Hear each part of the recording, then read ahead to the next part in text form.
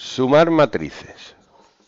Para sumar dos matrices tienen que tener las mismas dimensiones. ¿Qué son las dimensiones?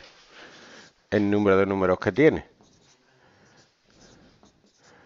Esta matriz es, tiene dos filas y tres columnas. ¿Qué son las filas y qué son las columnas? Vale.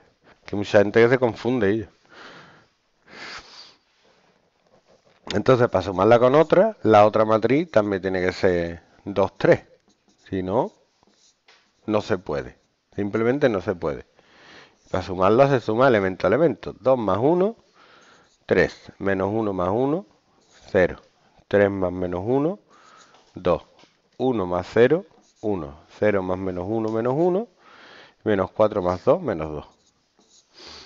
Luego, para multiplicar un número por una matriz, se multiplica cada elemento de la matriz por ese número.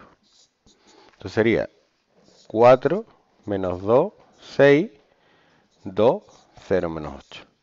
¿Vale? Fácil, ¿no? Esto no tiene nada.